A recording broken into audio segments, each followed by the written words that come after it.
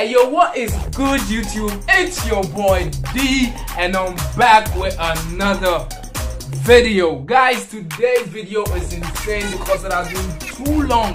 It has been too long. Guys, I'm back. No problems, I'm back.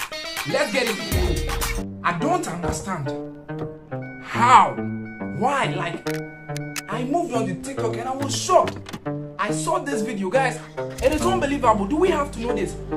No, should you be taught before you know this? strangest Look at how I'm sweating because this case is a serious case.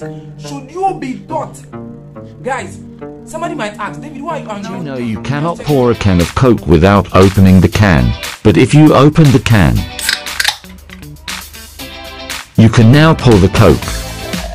This is because I opened the can.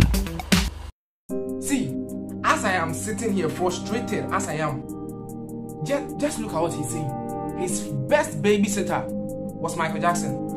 Who, who, who, is who is our babysitter? Who do do you have a babysitter?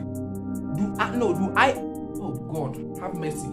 Check this video to out. When you're spending every day on your own, and here it goes. I'm just a kid. So guys, this is my last question. What happened to this technology? Hi, this is amazing. This is better than even the butterfly doors. Guys, check it out and, and, and let me know your, uh, your your suggestions in the comments. Guys, it is amazing. Check this one out. If you've never seen a door open on a BMW Z1, prepare to have your mind blown. As you can see, when you press a button on the rear three-quarter, the window and door neatly fold down into the sill. Forget your Lambo-style scissor doors, this is the style.